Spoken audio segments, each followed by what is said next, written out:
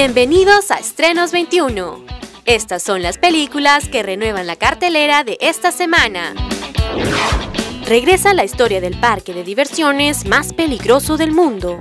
Tras 22 años de su primer intento de lanzamiento, por fin el Parque Jurásico está abierto al público y con grandes atracciones, en las que se destaca un dinosaurio creado genéticamente por los humanos, el Indominus Rex que pondrá en peligro a todos en la isla Nublar.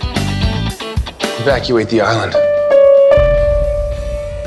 She's a highly intelligent animal. She will kill anything that moves.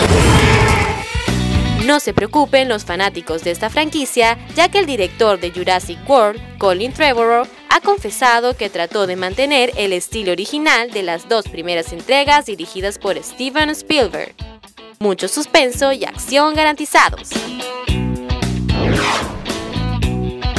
Y el cine francés llega nuevamente a nuestra cartelera con una comedia que nos presenta a una pareja de esposos que verán como cada una de sus cuatro hijas se casarán con los que ellos consideran los hombres equivocados. Tu présentes Charles Trois métèques plus un noir, pour tes parents, c'est Fukushima. Les Français sont mauvais et bêtes. Si j'entends le moindre propos raciste à l'égard des Noirs, je les tape.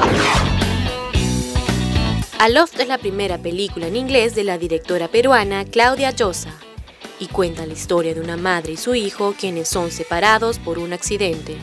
Ya pasados los años, él tratará de encontrarla para curar sus heridas de infancia.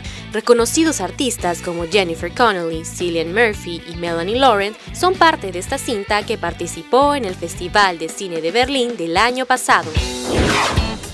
Charlize Theron interpreta a Libby, una mujer solitaria que de niña acusó a su hermano de haber asesinado a sus padres. Han pasado 25 años y una sociedad secreta que resuelve crímenes la busca para saber si ella mintió siendo niña.